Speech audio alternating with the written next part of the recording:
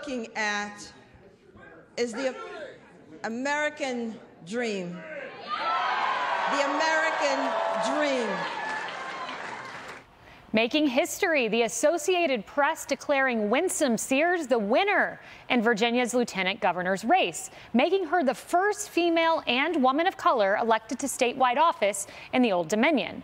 Born in Jamaica, Sears is a mother of three, a former state legislator, a business owner, and a Marine veteran. And Sears is not shy about her support for the Second Amendment, posting this picture that went viral of herself bearing arms at a gun range.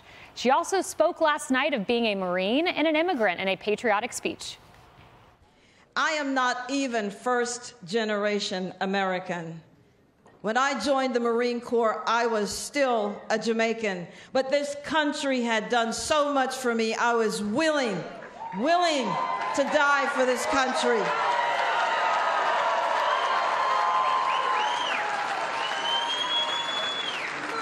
USA.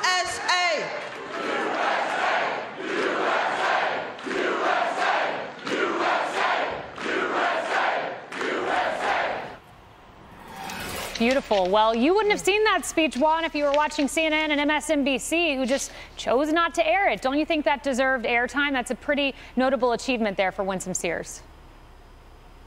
Oh yeah, and just on an emotional level, you just gotta, you know, embrace her. That, that, by the way, you know, much like Mia Love, remember Mia Love, who was a, a black congresswoman, course, Republican yeah. from Utah.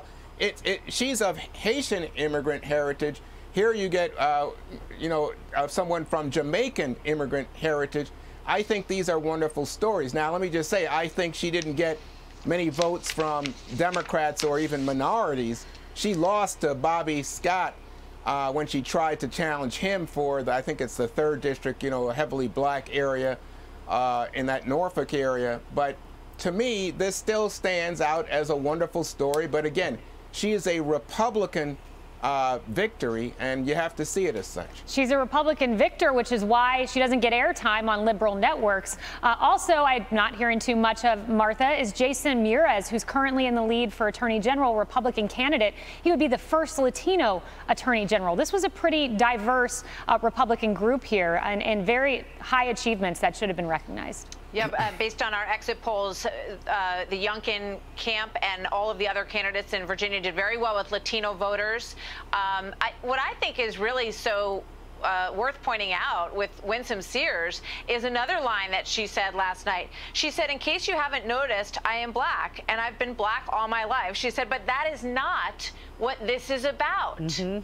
yeah. So she doesn't want to be, you know, and I think a lot of women feel this way. I think a lot of Latinos feel this way, you know, that they want to be chosen and elected on their merits, on what they want to do, in this case, for the Commonwealth of Virginia, not because they want to be pointed out as the first this or the first that. Absolutely. Well said. And Winsome Sears, I mean, wow, what a background. She ran a women's homeless shelter as well, Harris. Mm -hmm. yeah, Remarkable mean, woman. She has a lot of things that we consider to be, as Americans, aspirational. You know, and, and when you talk about her resume, I, I, love the way Martha put it, and, and she's quoting Winsome Sears, of course. You know, it's not about being female, it's not about being the first black this or that, um, but she's willing to do what many Americans aren't. She's willing to put herself on the line for America. Mm. Yeah. Right? Yeah. I mean, and that color is red, white, and blue. And you don't get credit for that over on the other outlets. And, and if you do, I must be missing it. Somebody correct it. But you know, I'm going to think it doesn't matter what CNN and MS and all those other stations, those networks focus on if it's not going to be something that's positive. Mm. So if they're going to point it out and then, you know, not have it be actually something to celebrate, if they're just going to tolerate it, oh, it's a Republican, they don't agree with it, so we'll tolerate the fact because she's black um, that, that doesn't take us anywhere. So it's okay if they just sit down and be quiet. Right. Well, another thing they're being very quiet about, Emily, according to Fox News voter analysis, guess what? Glenn Youngkin won the Latino vote 55 to 44 percent, a huge achievement that should really scare Democrats heading into the midterms. Absolutely. A vote that comprised 10 percent there of the voting population in Virginia, which I mentioned in the in the first segment, right? They were prominent at that victory speech. You could see those signs. Um, and just on Winsome Sears for a moment, she is a remarkable woman. She was also the first black female elected to the Virginia House of Delegates. She also served on the Virginia Board of Education, which is a really important thing, again, for those voters there that placed education as their top priority issue. And she was a President Bush uh, presidential nominee or appointee, excuse me, for the Veterans Affairs Board on Women. She has a remarkable history of service. And what I found so fascinating as well is that in her victory speech, when she said, she said, education will lift us out of poverty. She said, we're going to have safer neighborhoods, safer communities, and our children are going to get a good education.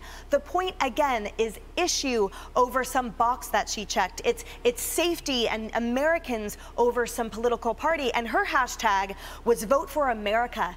2021. And I have to just close by saying, if you recall, when then Vice President elect Kamala Harris tweeted out one of her first tweets, she said, Black women in this country are too often overlooked. And I just wonder if she will reach out and congratulate it's Winsome an interesting Sears. point Yeah. because Biden said he was looking for a black woman.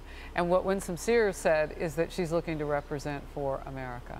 Yeah. We'll see if they congratulate It- her. We'll see if they invite her. It'd to be a nice to have the vice president say something, but uh, probably not because the left fears Winsome Sears. Hi, everyone. I'm Brian Kilmeade. I want you to do me a favor. I want you to click to subscribe to the Fox News YouTube page. This is the only way that I know for sure that you're not going to miss any great commentary, any great news bites, any great interviews coming your way on Fox. You can get it all here on YouTube. So subscribe right now.